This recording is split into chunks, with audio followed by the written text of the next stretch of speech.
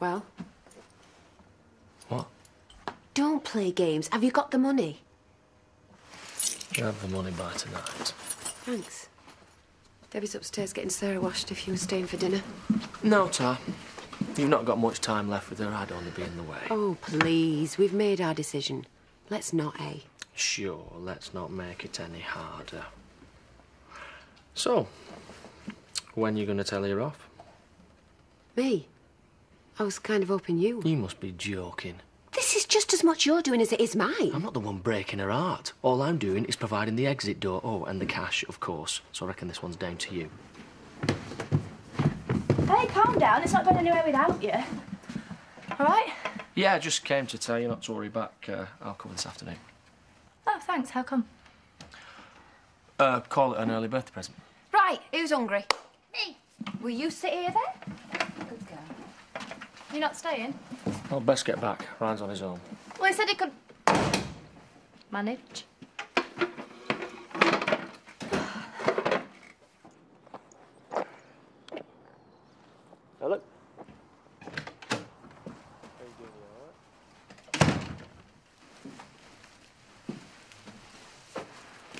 Edna, uh, would you like to take your lunch early?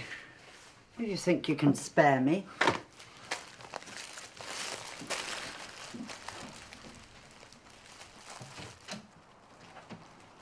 Oi. If you're at a loose end, there's a load in Sheffield. Uh, actually, I was wondering if you could do that. Why? Because when Cain Dingle gets in his car, I'm going to follow him. You've got to let this go. It's over. For you, maybe. Just because he's got to pick up some money doesn't mean that. 20 grand, Jimmy. And he's going to get it today. All right, what are you going to do? Mug him on his way home? I'm going to follow him, find out where he's hiding it, and then just play it by ear. Carl, you've got to start focusing on what's important. When Cain first came back, you thought this was important. Yeah, well, things change. Yeah, you took the easy way out. All right, so I'm a coward now, am I? Excuse me?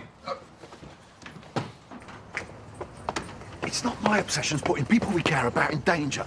I've told you before, I'm not putting Angelica in the firing line. Change your record, Jimmy. I've got kids too. And they don't live a few doors down from the cycle that you're planning to rob. And I'm serious. Carl!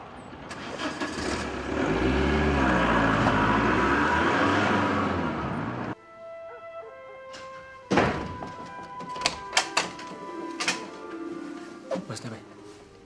Reading the kids a story.